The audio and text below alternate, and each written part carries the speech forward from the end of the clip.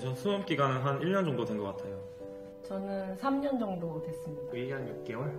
2년여 공부했습니다. 4년 했습니다. 2년 동안 공부를 했습니다. 3년 정도 됐습니다. 한 2년 정도 됐습니다.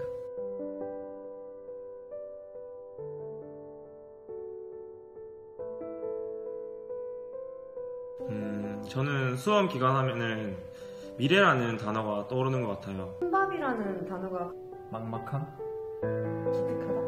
불안? 관계? 외로움이라고 생각을 합니다. 터널 속에 있는 자동차?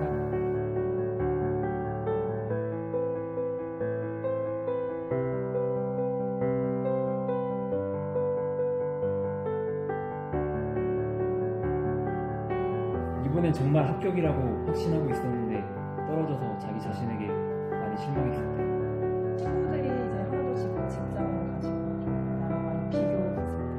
사람 만나는 것을 되게 좋아하는데 이런 것을 포기하고 남들이 놀때못 쉬고 독서실에서 공부할 때 언제 붙을 수 있니? 계속 공부할 거니? 시험 준비를 하면서 과연 이걸 계속 해야 될지 때 스스로 제가 계획을 세웠던 부분에서 제가 무너지는 모습을 봤을 때 사람 만나는 것도 조금 무섭고 말을 어떻게 해야 되는지 까먹을 정도로 좀 외로움을 많이 탔던 것 같아요.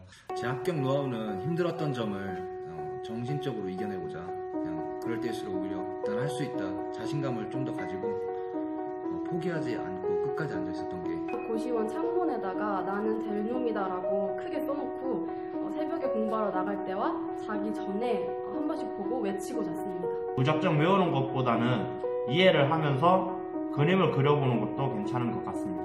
포기만 하지 않으면 이룰 수 있다는 그런 선배들의 말이 저를 포기하지 않게 더 해줬던 것 같습니다. 공부할 때는 무조건 자기가 하고 싶은 거는 꼭 하고 공부할 때는 딱 공부를 하는 게 되게, 되게 좋다고 생각해요. 독서실 책상에 가족 사진을 걸어두고 항상 저를 응원해주는 가족들을 생각하면서 수험 공부를 열심히 할 수 있었던 게 저의 원동력이 된 것 같습니다. 목표는 정해져 있습니다. 하지만 이것이 마라톤이 될 수도 있고 100m 전력 질주가 될 수도 있습니다.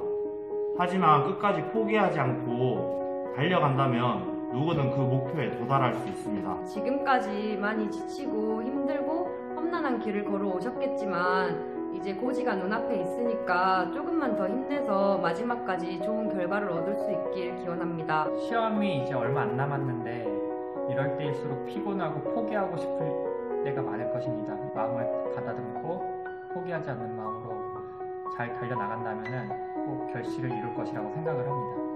조금만 더 버티면 이제 곧 당신의 자리가 생길 거니까 포기하지 말고 끝까지 도전하길 바랍니다. 이제 거의 다 왔습니다. 어, 포기하지 않고 한 걸음만 더 내디디면 합격이란 단어가 여러분을 기다리고 있을 것입니다.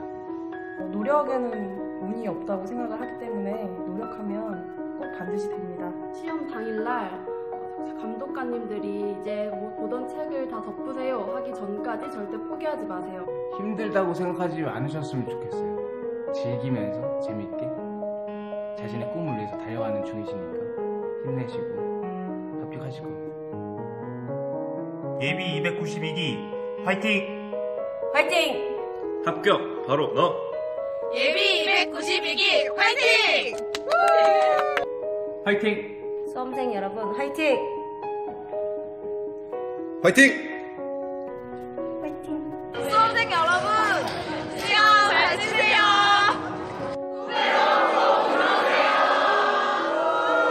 중앙경찰학교 292기 바로 당신입니다.